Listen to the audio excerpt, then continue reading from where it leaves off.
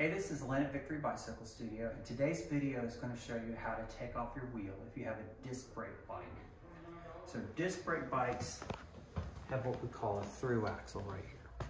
And to take it off, you're going to put an Allen wrench in here and unscrew it a few times. And then you can finish it off with your fingers. Some of these levers have a very clever hidden lever in there makes it even easier to take off. And then you simply lift the bike up, wheel comes off.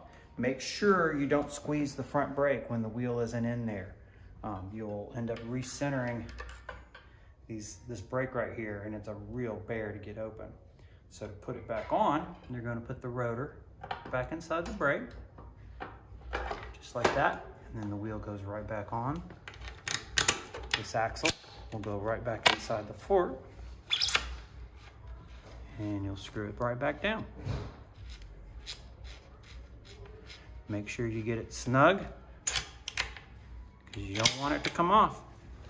And that's how you do the back also. And now you're ready to ride.